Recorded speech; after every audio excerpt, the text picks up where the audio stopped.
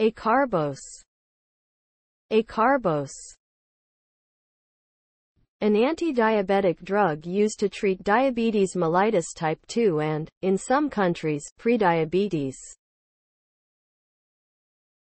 It is a complex oligosaccharide of microbial origin and starch blocker that competitively inhibits pancreatic alpha amylase and alpha glucosidases, glucoamylase, sucrase, maltase, and isomaltase, in the brush border of the small intestinal mucosa, which delays digestion of complex carbohydrates delays absorption of glucose from the intestinal tract, and decreases postprandial blood glucose concentrations. It prevents the degradation of complex carbohydrates into glucose. Some carbohydrate will remain in the intestine and be delivered to the colon.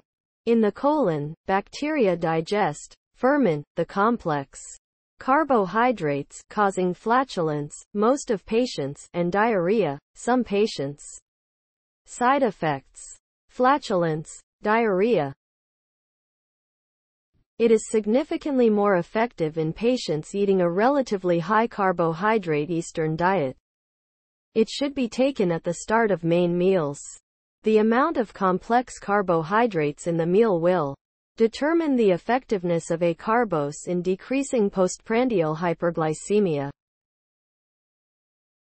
The combination with metformin results in greater reductions of HbA1c, fasting blood glucose, and postprandial glucose than either agent alone. It is hydrolyzed by enzymes produced by gut bacteria, e.g. maltogenic alpha amylase from Thermus sp. IM 6501, cyclomaltodextrinase from Lactobacillus plantarum. These bacteria inactivate this and create the resistance.